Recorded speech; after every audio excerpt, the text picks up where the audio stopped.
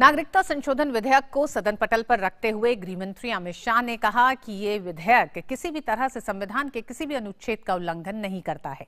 अमित शाह ने दिन में दो बार संसद में अपनी बात रखी। शाम को जब उन्होंने दोबारा सदन में अपनी बात रखी तो उन्होंने कहा कि ये बिल किसी के साथ भेदभाव नहीं करता।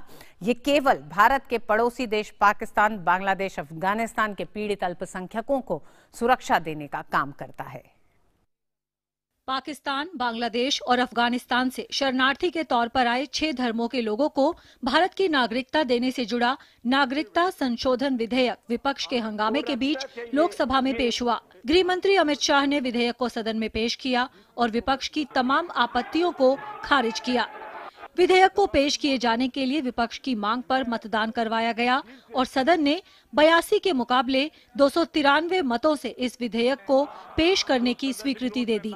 बाद में इसे चर्चा के लिए रखते हुए गृह मंत्री अमित शाह ने कहा कि विधेयक देश के अल्पसंख्यकों के खिलाफ नहीं है और इसमें संविधान के किसी अनुच्छेद का उल्लंघन नहीं किया गया। जिस बिल को मैं पुरस्तापित करने के लिए प्रस्ताव लेकर आया हूँ, वो बिल किसी भी तरह से, किसी भी दृष्टिकोण से संविधान के किसी भी आर्टिकल को आहत नहीं करता है। धार्मिक प्रताड़ना के आधार पर तीन देशों के जो अल्पसंख्यक यहाँ आए हैं, जो माइनॉरिटी यहाँ मैं माइनॉरिटी शब्द इसलिए बार बार बोलता हूँ कि आपको मालूम पड़े माइनॉरिटी की ही चिंता है। माइनॉरिटी जो वहाँ से यहाँ आई है मान्यवर जिसमें हिंदू, बौद्ध, सिख, जैन, पारसी है, क्रिश्चियन भी है। उनको एक अर्जी लगाने से नागरिकता मिलेगी। अमित शाह ने कांग्रेस पर सीधा हमला बोला और कहा कि अगर कांग्रेस पार्टी देश की आज़ादी के समय धर्म के आधार पर देश का विभाजन नहीं करती तो इस विधेयक की ज़रूरत नहीं पड़ती। पूर्वोत्तर के लोगों की चिंताओं को दूर करते हुए अमित शाह ने कहा कि बिल में उत्तर पूर्व के तमाम राज्यों के लिए प्रावधान किए गए हैं। आज इस सदन के माध्यम से मैं समग्र नॉर्थ ईस्ट की जनता को कहना चाहता हूँ कि पूरे नॉर्थ ईस्ट के, सभी के सभी राज्यों के, सभी के सभी राज्यों के चिंताओं का निराकरण इस बिल के अंदर समाहित है। कोई उकसावे में मत आना, कोई आंदोलन मत करना, बहुत हो चुका। अब ये देश शांति के साथ आगे बढ़ना चाहता है।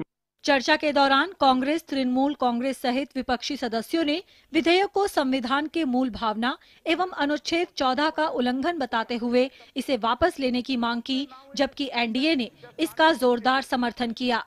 1955 में नागरिकता का कानून बना और उसमें यह बात तय की गई, सुनिश्चित की गई कि नागरिकता के चार मापदंड होंगे।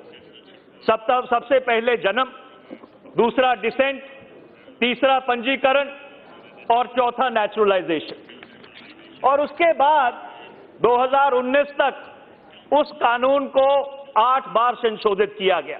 Sir what you are doing is not fair your this bill is half hearted is not taking care of entire country I request you to reconsider try to be more positive, take positive steps, rather negative steps. धर्मनिरपेक्षता तो इस देश की मूल भाषा है। और हम समझते हैं कि आज ये जो बिल है वो कहीं से भी धर्मनिरपेक्षता के सिद्धांत को प्रभावित नहीं कर रहा है। धर्मनिरपेक्षता के सिद्धांत को कहीं से भी प्रभावित नहीं कर रहा है। तो इसलिए आज इस बिल को भी हम यह कहेंगे कि धर्मनिरपेक्षता की रक्षा के लिए बल्कि इस देश के जो हिंदू सिख बुद्धिस्ट, ईसाई, पारसी और जैन, जो लोग बंटवारा के पहले थे और पाकिस्तान जाके बस गए थे, आज उनको सम्मान देने का है और ये धर्मनिरपेक्षता के पक्ष में है।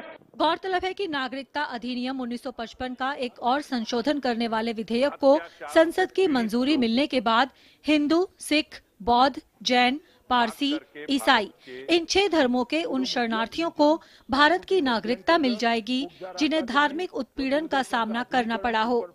बिल का पूर्वोत्तर के कुछ राज्यों में विरोध हो रहा है, लेकिन अमित शाह ने साफ़ किया है कि पूर्वोत्तर की चिंताओं का पूरा समाधान किया गया है और उनके हित पूरी तरह सुरक्षित हैं। पार्लियामेंट टीम के साथ news night desk, DD news